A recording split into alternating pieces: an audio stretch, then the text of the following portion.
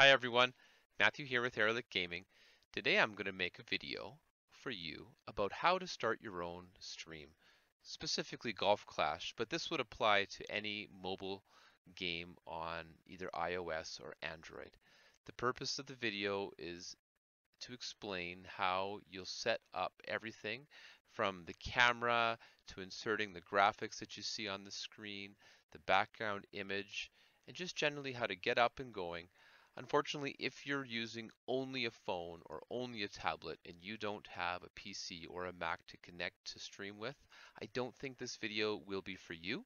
So while I may not know specifically how to use each of these mobile streaming software, I understand that, for example, GC RobDog 79 has had great success in using the Mobile Streamlabs app the um, the Do Recorder, which is that orange icon there, Do Recorder, DU Recorder, is another very popular um, iOS or Android only recording tool, as well as Omlet Arcade. That's that little handheld controller icon that you see there. Those are three uh, mobile streaming apps that I know have some popularity in our community and to my knowledge would make um, good suggestions as to a place to start if you don't have a PC or a Mac to work with. Right, so the two main programs that I use to run the stream is Streamlabs OBS, which is a free program that I install on the PC. And if you put that into Google, uh, Streamlabs OBS, go through the installation steps. As, as far as I know, it works exactly the same on PC and on Mac. As well, then I install the program called ApowerMirror, I use it for free as well. Um, I know that it works equally for iOS and Android as well. If you're using either a phone or a tablet, it should work just the same to connect your device to your PC or Mac through um, the Wi-Fi network in your house. I'm really working to make this as straightforward and approachable as I possibly can please leave any comments or questions that you have in the comments section below um, and I'll absolutely chat with you one-on-one. We can work together uh, and then try to get everybody up and running so that we can share our awesome game together and share it with the community. So to me, the first step is really identifying who you are online. What is your brand? What is the you know, what do you want to share with the community? Are you going to just use your name? Or, you know, for me, me for example, I took a fantasy character name that has a lot of meaning to me personally, Erelic, and I used that as the branding for my YouTube, for my Twitch, and for my Facebook page. And to me, I think it's important that you start with an account. You start with a Gmail account. Now, if you are streaming Golf Clash and you want to keep it as simple as possible, start with YouTube. YouTube is where the vast majority of all of our community is. And if that's all you work with, that is an absolutely perfect and acceptable choice. But I would recommend creating a brand new Gmail, which equals YouTube. They are the same. They're both owned by Google. Um, this way, when you are setting up your your stream, everything is going to be saved onto the same account and it won't be cross-referenced with your own personal information. So that would be the first step to me. The most important step actually is creating a name and a Gmail account that you're going to associate all of your streaming with. Once you have a name established for your channel, um, what you have to also consider is you want to have some kind of brand imagery. First of all, you'd want to start with a logo. Logo is a really important way to express your channel. It's also a great tool that you can use to collaborate with other streamers, such as what I've done with Ian Ballinger, Golf Clash Italy, GC Fenzel. Um, you know, we exchange logos on one another's streams. Now, that's not something you have to do, um, but it's an option, and it's something I wanted to bring up that as, uh, you know, an often overlooked detail. When I was first approached by Mr. Gio Viviani of Golf Clash Italy, uh, I didn't have a logo, and the one that I was using was not really a high enough quality to be you know, utilized um, in a share, you know, you know, in a shared setting. So I went to uh, these websites that I have over here, brandmark.io and fiverr.com. Now, Brandmark is where you can go to just get a logo. There is a cost associated, um, but they have an infinite number of options and possibilities, and you just work with an AI um, algorithm which basically helps you just pick one without having to deal with any people. Now, Fiverr.com is uh, it's a very, very unique and very special, very helpful web page. There, not only can you find the logo, but you can also find artists that you can work with one-on-one -on -one to make banner images. You can make the um, the moving animated intros and outros that you see on the videos. Um, Fiverr is a really interesting website and uh, I think it's worth checking out. Again, there is a cost associated with it. These are not essential, but I'm trying to help you make a stream that you're going to be proud of um, and at least to discuss the different elements that you can work towards um, so that you can enjoy your content, the quality of it. Of course, if you just want to start with your smiling image as your logo, use your picture. Um, as far as the banner image goes, you can just use Microsoft Paint. You can throw something together, but I recommend trying your best to build the most uh, professional and high quality stream that you can. Okay, so here we are with Streamlabs open and I've got my mouse there you can see with the yellow ring around it. So what do you do? What are we looking at? This black box here is basically what the viewer is going to see on the screen. So the first thing, of course, you're not going to see Switch, Mario Kart, you know, my intro, my gameplay, the end scene that I always forget to use, right? You're going to see a blank box here. So you're going to go and you're going to click on this plus sign and you're going to make a new scene called first stream. Okay, so that's cool. There we go. Now what? So now it says first stream. Big deal. Nothing changed. That's because you haven't added any sources.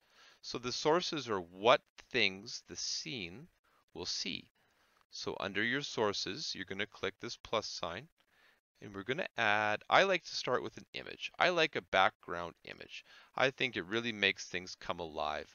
I'm going to start with the green grass that I know you have probably seen me use before and boom, there we go. Now we have a stream with green grass. So what? That's cool, looks nice, but then what do we do? So we're going to continue to add sources right? So the next important source that we're going to add, I think, to me, is the video capture device. Now, of course, adding a webcam is entirely optional. It's not essential, but I think it's uh, an important aspect of really connecting with the streamer. Um, but again, it's personal choice. So I'm going to just call this one webcam. Oh, and there we go. Hi. so you see we've got that. Now there's a bunch of options. You can get in there and start fussing around, but we're just going to click done. And there we go. We've got a webcam. Woo-wee. You can, uh, of course, click this little corner, or you can click these, whatever you like. You can resize it, put it wherever you want. It'll kind of snap into the corner. Snap, snap, whatever you like. Okay, so cool. So now I'm going to add one more image just to give you an idea that you can add other images. So let's do that. Do that a little fast. Sources, add, image. Okay, I'm going to add a new source because I want a new image. And I already have it here, but I'm going to add a new source down here, add a new source. You can just call it whatever you want. Logo, add source, browse, Okay, you're going to go on your computer wherever you have it. Um, and I do believe I have the Golf Clash logo in here somewhere. There it is. Bada bing. Okay. And I'm going to click done. So now that Golf Clash logo is going to show up. You can drag the corners, like I said, drag the corner, make it nice and big, make it small, whatever you want to do. So now this is an important time for me to mention that the order of the items in the sources list, it matters. So what is on the top of the list is basically what you're going to see first. So if I move this green grass background, see I'm moving it up to the top of the list, everything disappears. Now when I move the logo on top of it, it comes back and the webcam. So remember, keep your background on the bottom of the list, right? That's important. Now, how do we see the game?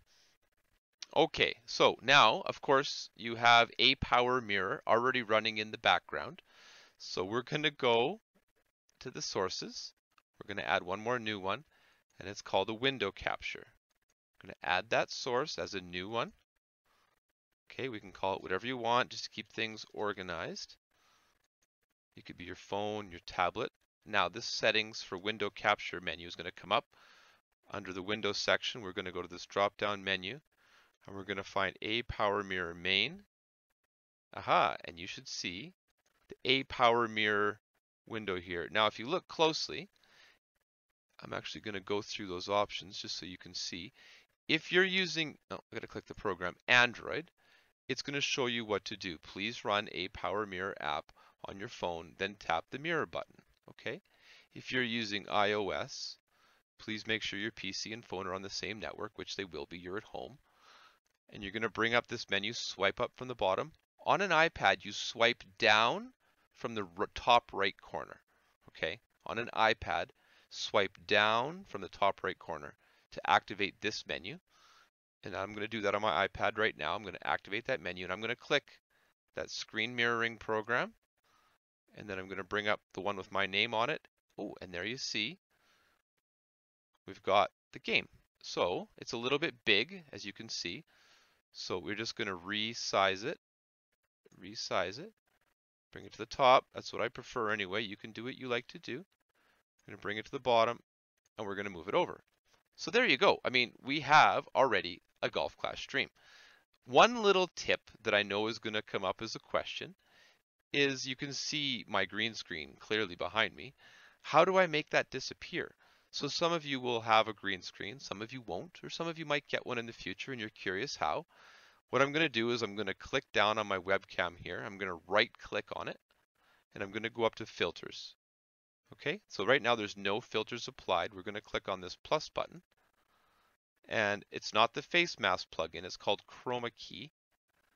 There it is, Chroma Key. Okay, done. It's going to bring up all these fancy options. I'm not interested. I'm just going to click done. If you're having trouble making your green screen work, there's a lot of tutorials on YouTube. Um, and you're going to have to work with like flattening the screen, getting better lighting. Um, there's a lot of details that I'm not going to get into right now. But if all else fails, we have already made a stream. So then all you need to do, well, essentially you're going to have to go into YouTube right? So you're going to go into YouTube, right? And you're going to click on your stream. You're going to go into YouTube Studio, go into your channel. I don't like the new beta that YouTube has. I click down here on Creator Studio Classic um, because I find it navigation difficult.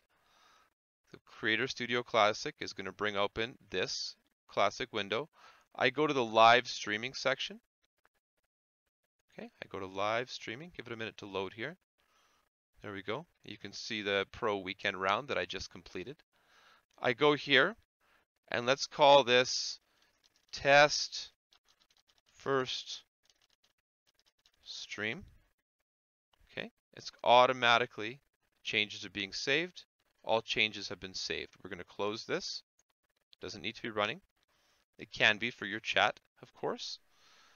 Um, and now that we've done that, if we click the go live button, I'm not actually going to go live, but you can see test first stream here in OBS or Streamlabs OBS, right? So if I were to confirm and go live, we would go live with exactly what you see and everybody be like, oh, hey buddy, what, what are you doing, right? So that's really it. You know, there's a lot of subtle nuances. There's a lot of little details. Um, I, I haven't covered everything and I don't want to, you know, um, try to cover everything. I think this is a really good place to start.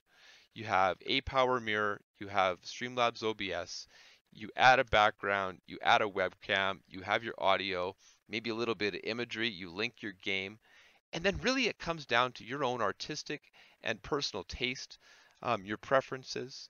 So please leave some comments in the comment section below. Let me know what else you need to know. I might do a follow-up video or we can just chat one-on-one -on -one to talk about what it is that you think um, I might have missed. So yeah, thank you so much for watching. I hope this can help even just one person. Um, it's taken me a lot of time to get to this point of making it feel and seem easy. So don't be frustrated. Don't give up. There's been a lot of little bumps in the road for me. And uh, we'll talk. Be in touch. Good luck. Happy streaming.